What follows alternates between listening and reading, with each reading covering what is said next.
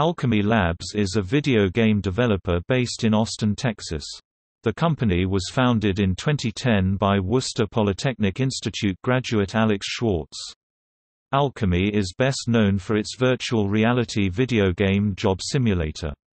In May 2017, the studio was acquired by Google.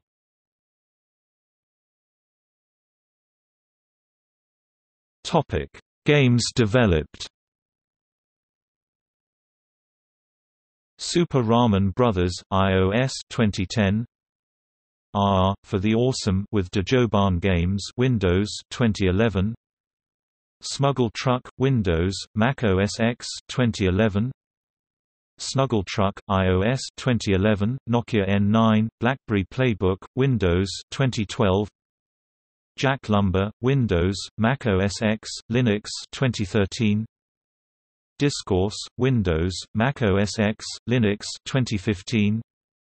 Job Simulator, Windows, PlayStation 4 2016. Rick and Morty Simulator, Virtual Reality, Windows, HTC Vive, Oculus Rift, PlayStation VR 2017. Vacation Simulator, Windows, HTC Vive, Oculus Rift 2019, PlayStation VR releasing in June 2019. Topic: Snuggle truck controversy.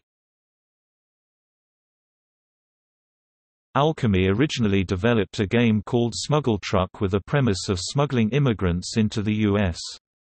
The game was inspired by Owlchemy developer Yilmaz Kiymaz's experience as a Turkish citizen attempting to stay in the U.S. after graduating. Apple rejected the game for its App Store due to the controversial subject matter. Owlchemy retitled the project Snuggletruck and changed the premise to taking fuzzy animals to the zoo. The rebranded game was accepted into the App Store.